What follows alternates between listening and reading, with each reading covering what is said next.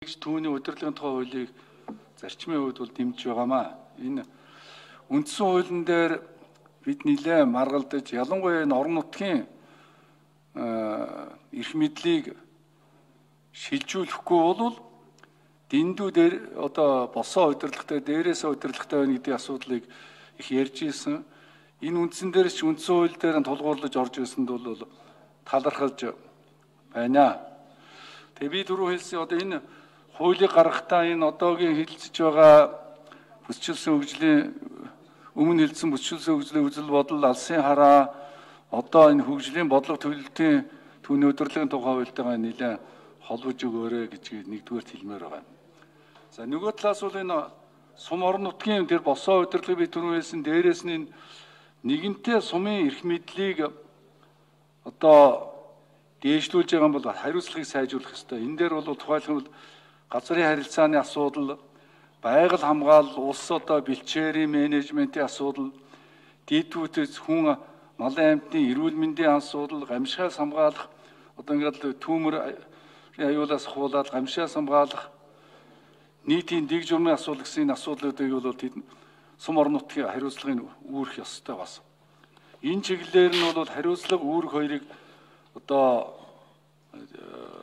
хослуулсан талаас цаашдаа анхаарахсаа гэж хэлж байгаа. Нэгдүгээр хэлж байна. За нөгөө талаасаа бол энэ иргэдэд өгөх төрийн үйлчлэгээний асуудлыг одоо нилээ олоодаа ярьсан. Өнөөдөр баг хороо сум дүүр гэж байгаа. Сум 3000-аас 6000 хүнтэй, дүүрэг 350 60 мянган хүнтэй. Хороо 10 хэдэн мянган хүнтэй, сум 3-аас 6 мянган хүнтэй.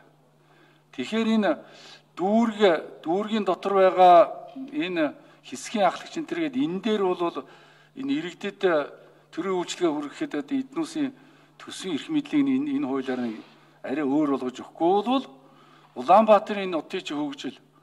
Яг ард иргэддээ хүрж байгаа хөгжил. Энэ Улаанбаатарын утаа, үнээр, төгжрөл Тэгээд сургууль соёлын асуулгад ингээд л ярих юм бол энэ иргэдээ хүрэх нөхцөл байдал их муу байна. Хуучин бол хороо хорин гэдэг ингэж ярьдаг байсан. Одоо бол энэ улсын хурлын гишүүн одоо Батэрдэн аврагын яриад байгаа тэр 10 10T систем гэдэг бол энэ сум орон нутгад хэрэгжээд эхэлсэн.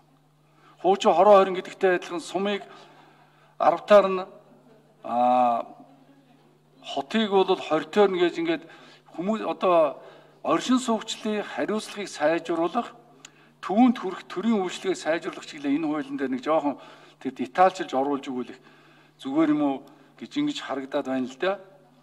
За нөгөө талаас нь бол энэ энэ босоо тогтолцооны асуудлыг ингээд чиглэлийн чиглэлийн ингээд өгчих юм бол орон нутгийн эрх мэдэлтэй болчлаа. Аймаг эрх мэдэлтэй болжоо, сум эрх мэдэлтэй болчлоо, дүүрэг хороо эрх мэдэлтэй болчих юм бол улсын хурлын гишүүд ажиллаа хийнэ. Одоо улсын хурлын гишүүд чуулган дээр төсөв батлагдах бус чиглэлээр бол аль болохоор өөрснөө нэг хитэн төгрөг яаж ээжгээ суулгачаа тэрийг бид хийсэн би хийсэн гэдэг гэж ярьж байгаа. Тэгэхээс ч өөр аргагүй зүтгэж зүтгэж оруулсан оруулж байгаа юм аа.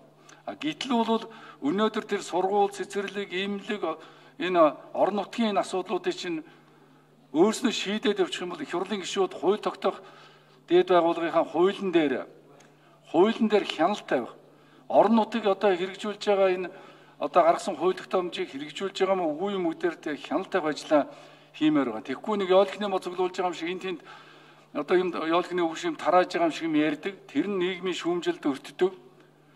Ийм байдлаас сална. Өөрөөр хэлэх юм бол энэ орон нутгийн эрх мэдэл хариуцлага сайжирсан тохиолдолд улсын хурлын гишүүдийн их хурл дээр оролцох их хурлынхаа жинхэнэ гишүүнийхээ ажлыг хийх ажил бол илүү ихээр сайжрах учраас энэ хууль өөрөө маш их тулгуур зөв хууль болж байгаа. Энийг тэгээд бидний хэлсэн саналыг бас тусах нь үстэй хилцүүлэх явцдаа тусах нь гэж их найдаж байна.